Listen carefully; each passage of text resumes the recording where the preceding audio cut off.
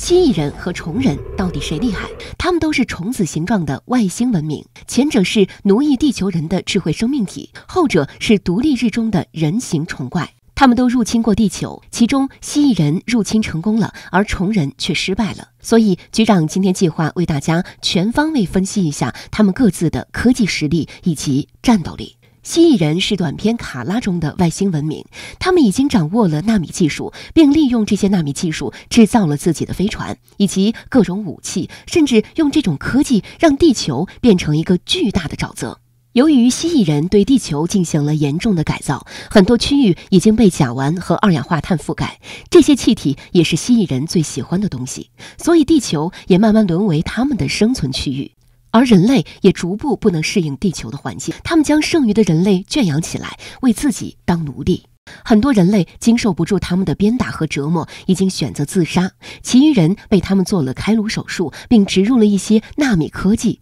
最终彻底成为他们的傀儡。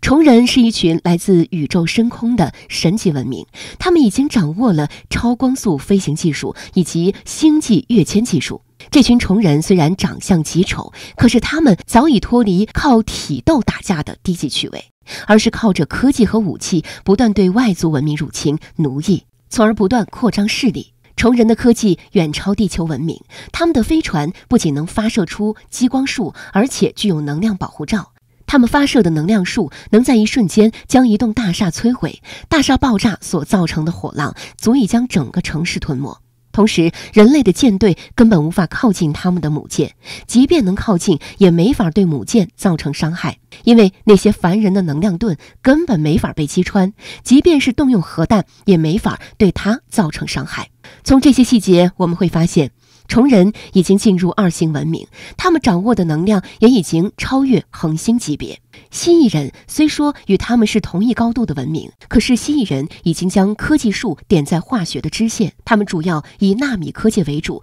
很少会见到他们使用物理武器。如此一来，如果蜥蜴人和虫人一旦发生大规模的战争，蜥蜴人是难以抵挡的。他们的主要手段是以柔克刚，比如操控敌人思想、改变敌人的生存环境和释放毒气。这些手段面对虫人的大规模杀气或者能量盾牌，根本无法对抗。除此之外，虫人也拥有控制敌人思想的能力。他们的操控是一种脑电波式的控制，而且这种脑电波会对敌人造成严重的压制，让对方头疼难忍，甚至失去战斗力。综合以上，我们会发现，虫人是一个综合素质很高的文明。他们不仅在软控制方面很强，而且对大规模杀伤武器拥有绝对的掌控力，并且虫人还有一个虫王。虫王体型十分巨大，一个人就可以打败敌人一支舰队。他只要轻松挥动触手，就可以掀翻一辆汽车。除此之外，虫王不仅是一个战斗型人物，